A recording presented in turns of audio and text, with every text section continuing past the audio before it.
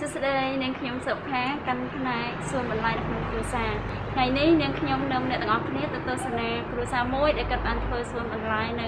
ក្នុងគ្រួសាររបស់គាត់ដែលស្ថិតនៅក្នុងភូមិចចកសង្កាត់សង្ងាយតោះយើងទៅមើលទាំងអស់គ្នាទៅដែរ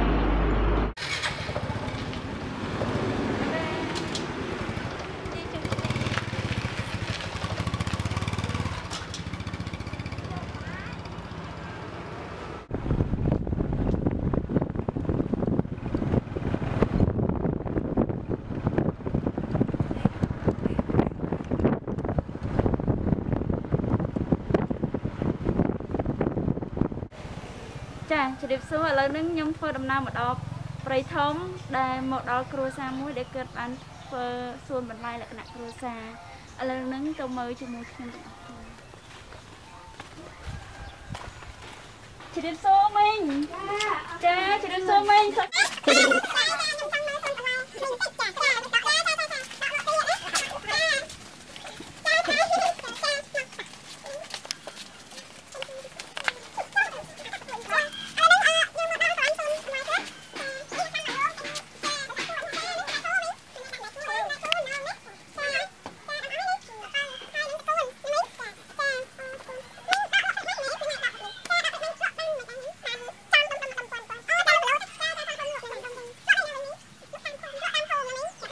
还没办完，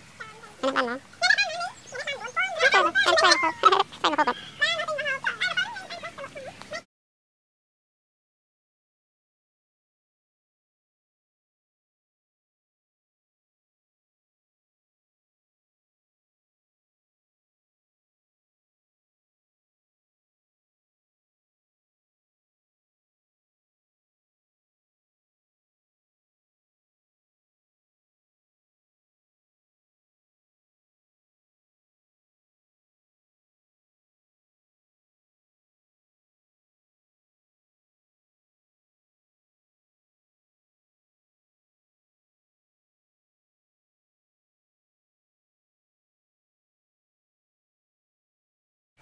ចាំវិញខ្ញុំសុំសួរបន្តិចតទៅនឹង